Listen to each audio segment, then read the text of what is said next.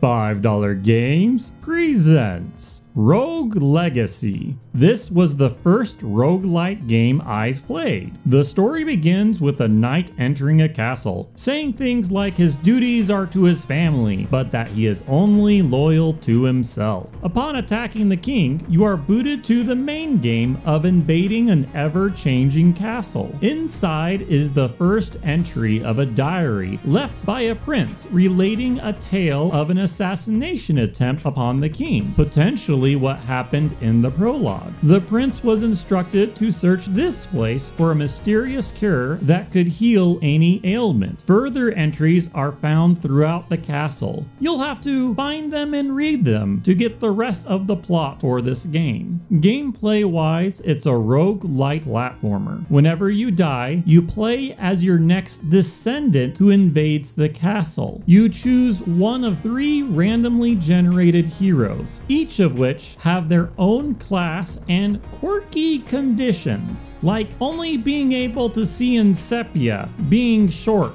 or exaggerating how much damage they take. As you explore the castle, you earn gold, which you then spend upon dying for permanent upgrades on this skill tree. Some of these upgrades are straight up stat upgrades, some are class unlocks, some are class upgrades, and others increase the variety of descendants you can play as. However, there are two caveats. One is that every time you buy an upgrade, all upgrades get more expensive. The second is that whenever you enter the castle, you lose all of your gold. This can be mitigated somewhat by the equipment and relic shops that do not change their prices, but you should get used to losing your gold. The castle itself is pseudo randomly generated. There's always four areas, the main entryway, one above, one below, and one to the right. Each area is guaranteed a boss room and a connection to the main entry area. And the rest of the castle is made up of developer created rooms, which are randomly selected and assembled. A grossly simplified example is to imagine a deck of playing cards. Each card represents a room the developers created, and the suit represents which area it goes in. Whenever you start a run, you grab 20 cards, organize them according to their suit, add the required rooms, and bam, you have your castle. There are a lot lot more constraints and nuance than this, like there being hundreds or thousands of potential rooms, but I just wanted to explain the basic idea of it. I really enjoyed this game and have beaten it about five times. New Game Plus upgrades all of the enemies to at least their second tier, and New Game Plus Plus upgrades them to their third tier. But what was really enjoyable for me was starting the game over when pursuing the achievement Thanatophobia. This achievement requires beating a fresh game in 15 lives or less. It was fun making each descendant's life